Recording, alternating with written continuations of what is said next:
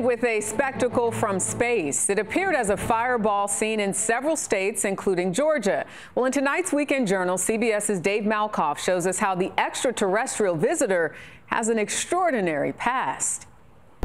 As if fire in the sky over Georgia crashing into a family's roof isn't spectacular enough. We're going to take a, a look here. Just wait until you see what a shooting star looks like up close. This is the thing I love about these microscopes.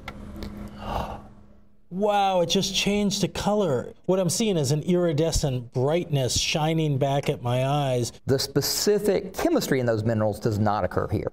You had to have been formed on somebody out in space. Those little black specks in there are older than Earth.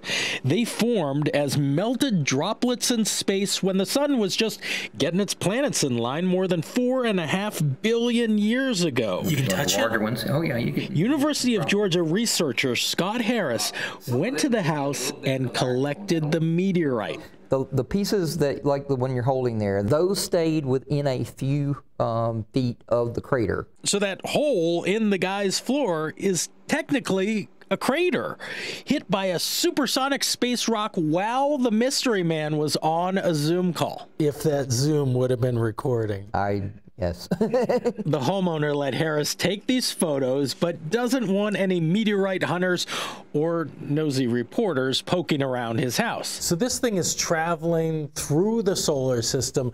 It comes through the atmosphere, breaks up, and goes directly to this guy's house. Could not have picked a calmer individual's house. If this box is the man's house, this is how the rock came flying in. These were clean shot holes through the roof, through the attic. There's still debris in their furniture, up on the refrigerator, on the mantle. Months later, they're still picking out dust from the fabric of their sofa. The family is now cutting out these holes in the house on every layer so they can eventually go to a museum for everyone to see. There's also one place where there's almost certainly a little bit of this dust, and that's in his lungs. But he's not going to get any superpowers from that, is he? Well, we, uh, you know, we can hope, right?